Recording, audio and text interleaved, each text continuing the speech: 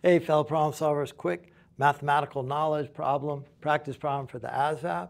X is equal to that, Y is equal to that. What's the value of this whole thing? So what I have to do here is I have to take that X, sub it in for X, take that Y, sub it in for Y, then do inside the parentheses, then my exponent outside. So I take that Y, plug it in here. Y squared, 4 times 4 is 16.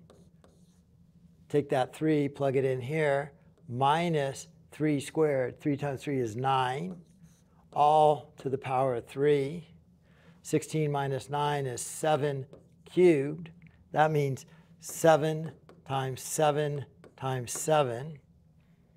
7 times 7 is 49.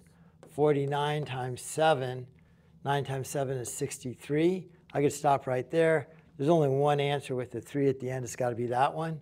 But 63, carry the 6, 28 plus 6, 343. Correct answer, answer D.